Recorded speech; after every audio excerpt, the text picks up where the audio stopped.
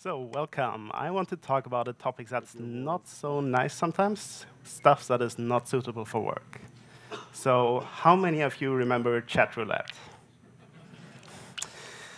And it turns out that according to Wikipedia, approximately one in eight feeds from Chatroulette involves R-rated content. So it was pairing you off with someone randomly, and you did see a lot of stuff you didn't want to see. So WebRTC still has the same problem, and you need to think about WebRTC and not safe for work detection. And I did that using Yahoo's OpenNSFW, NSFW, sorry. And it's a neural network for detection of pornographic images.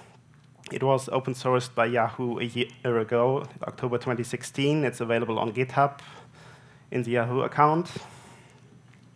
And it's a neural network, so it has been trained with a lot of images, input data, images labeled as either safe or not safe.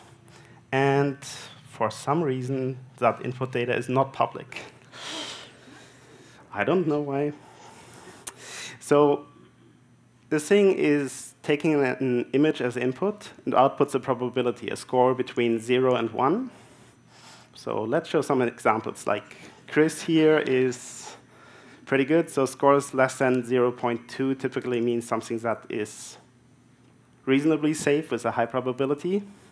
And Chris, 0.5%, you're safe. I'll tell your manager. so we can show, really show something that's scored with more than 0.8. That is an indication that the image is very highly probable not safe. And there's a lot of stuff in the middle, scores that are between 0.2 and 0.8. And I found this great image of David Hasselhoff from Baywatch. And for some reason, it had a score of 0.38. And I mean, it's perfectly safe, I would say. and actually, it was quite interesting if I cut out a certain part of the picture like this. Then the score drops to 0.04. So it's possible to understand what the neural network does to some degree, which is always a big problem in machine learning and in AI. So show me the code. It's a Python script, so you run it, Python classify NSFW. You give it a pre-trained model and an input image, and it outputs a score, in this case 0.14. And it's a Python script. You can run it easily the input image is resized to 256 times 256 pixels. It takes about 0.8 seconds to run, including the Python startup, and about 280 megabytes of memory. And as I said, it returns a numerical score. So how can you hook it up with WebRTC? Well, you need two things for that. The first thing in your architecture is a web service for uploading images and classifying them. And then you need some client-side code for capturing an image from the video stream.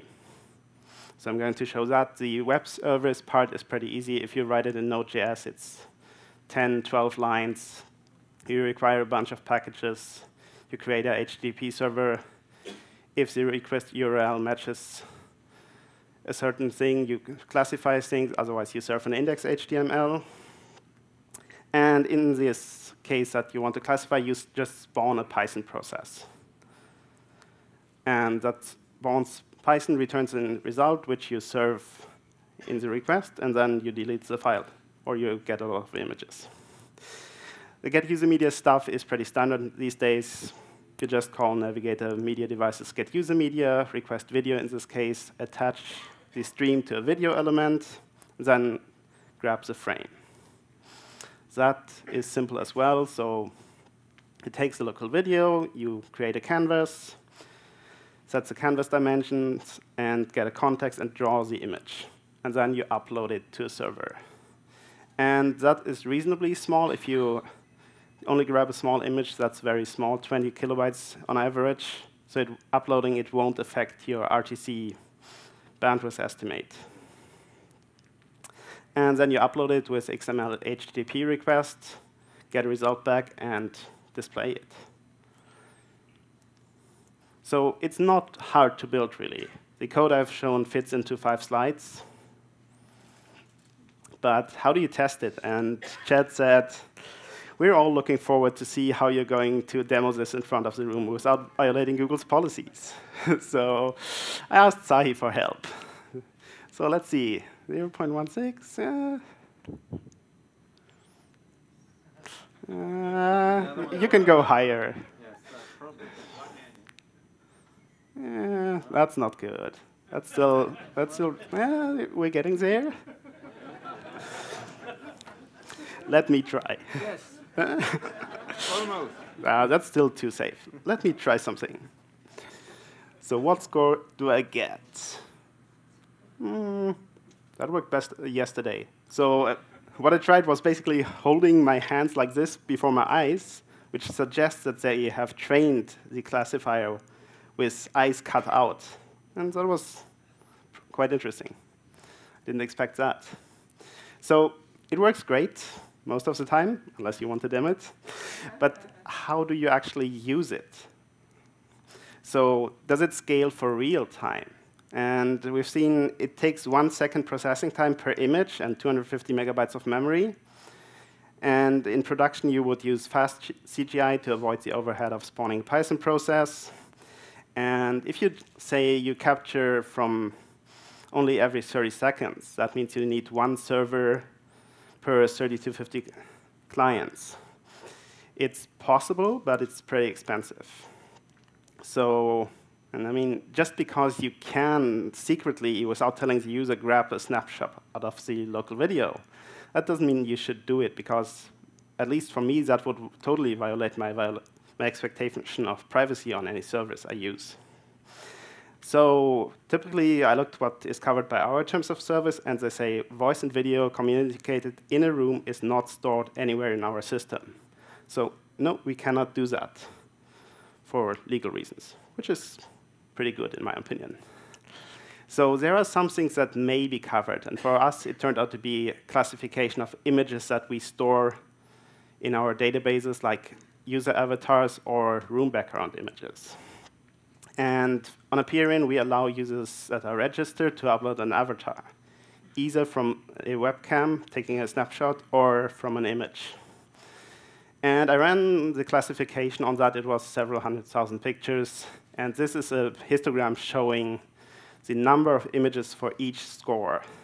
So what we see here on the left is that there's a very high amount of pictures that are perfectly safe, that are green. There's a very small amount of pictures that are in this yellow range. And there is this very small bump here. And if we switch to a logarithmic scale, it gets a bit more visible. So we have a small amount of images which are definitely not safe. And the same happens for background pictures. We allow users to upload a background image.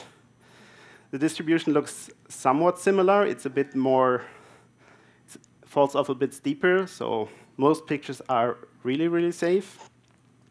And again, we have this bump here on the right side where a lot of stuff is not safe. I didn't really want to take a look because, no, I don't get paid enough for that so we send out a couple of Hadebra emails saying goodbye, you've reached our terms of service, we don't want you anymore.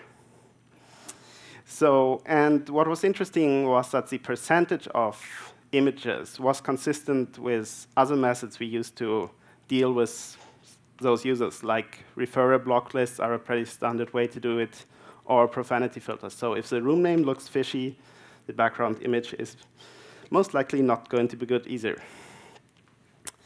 So as a summary, this Yahoo stuff provides a very good way to do a reliable detection of content that is not safe. Combining it with WebRTC for demo is pretty easy. The difficult part really is when to use it. And for us, it showed that it was not really feasible to do it in real time for client-side processing. So we used it for classification of other images in the system, which were avatar and background images. And that basically augments any other methods we use, like block lists. So thank you very much.